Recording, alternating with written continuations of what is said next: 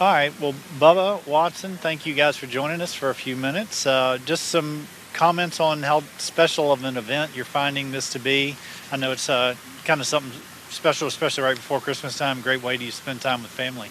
Yeah, for sure. It, it's one of those things where, you know, you, you've, I've heard about this tournament, thought about this tournament, and I didn't know the criteria to get into it, you know, and so.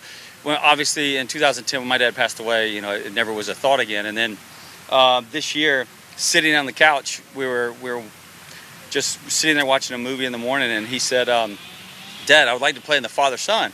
And I was like, "The father son? What are you talking about?" And he said, "The local father son that my friends played in last year. So there's just a local course."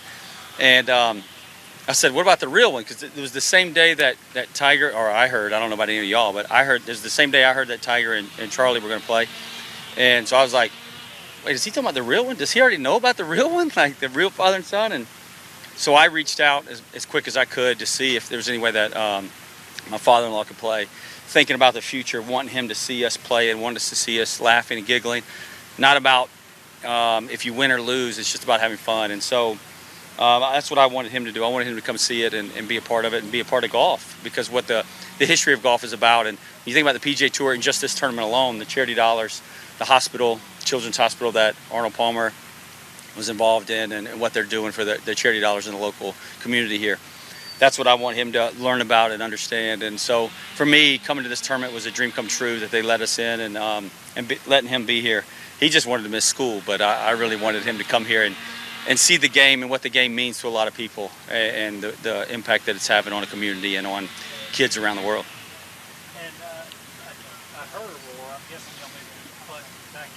Yes, we made a we made an eagle right here uh, to finish up.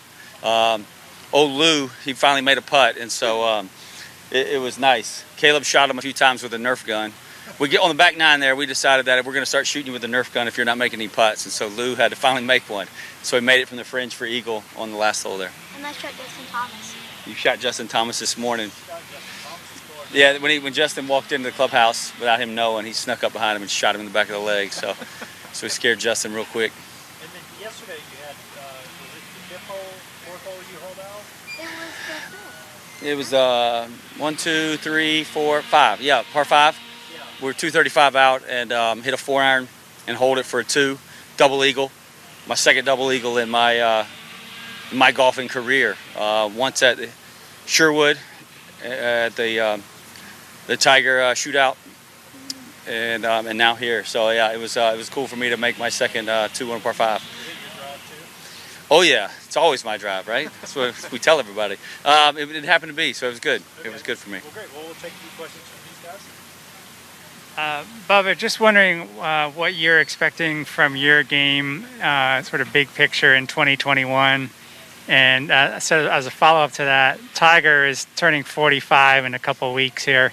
And what you're expecting from Tiger's game from the ages of 45 to 50? You know, um, let's talk about me first, uh, obviously. Um, I'm, I'm, looking to, I want to play, I want to, I want to make the Ryder Cup team. I want to make the President's Cup team still. I, I want to compete, and um, I'm trying to do different things in my life to get me where I can compete at a high level still. Um, I think we're we're on the right track. We, we were doing some things, and I think we're on the right track, working on putting, trying to get the putting better.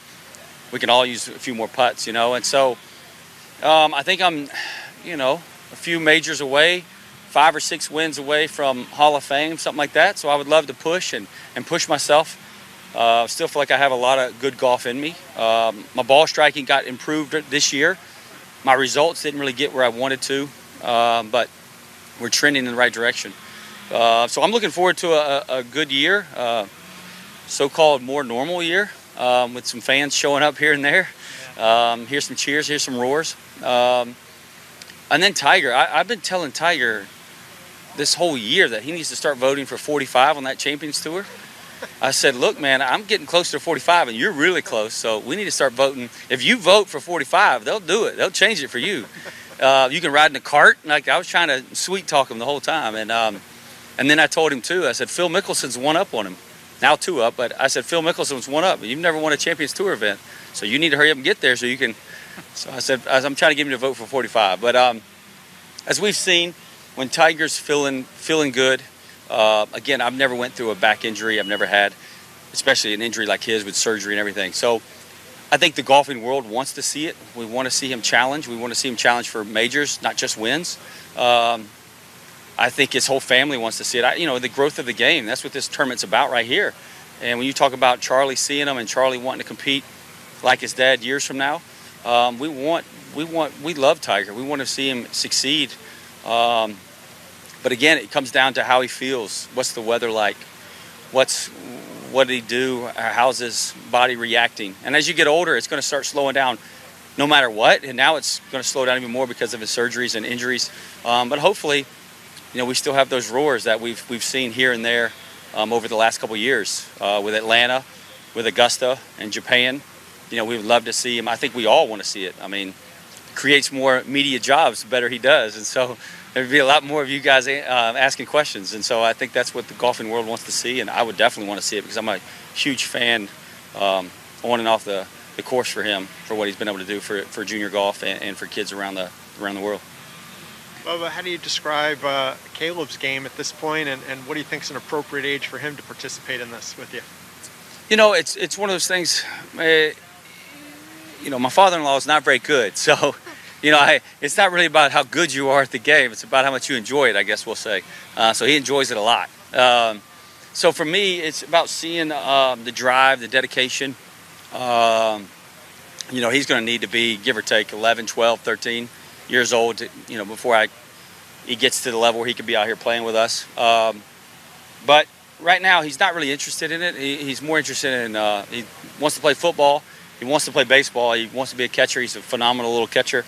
Um, but I want him to play, and I want him to play because he can play with mom, he can play with uh, grandpa, he can play with dad, and not about it's not about a score. You know, as we see, it's, it's beautiful weather. It's out here laughing and joking, cutting up, and so that's what I wanted him to see this week, and see that with me and his uh, me and his grandfather, and I wanted him to. Uh, see that we're enjoying it no matter what we shoot. As long as we don't come in dead last, you know, we'll be happy. And so uh, that's what I want him to see. And maybe when he gets home, us owning a driving range, maybe he'll want to go to the driving range a little bit more and practice a little bit. Good. Yeah, no worries. Yeah, Thank you. You want to say anything? No. Okay. Sure. Uncle, I'm going to speak all tonight, so. Atta boy. All right. Yeah, he said he's going to speak all tonight on I stage. have, I have a question. Um, are we going to practice afterwards? No. Hey, No, we're not. Now we are. Yes, now we are just because of that.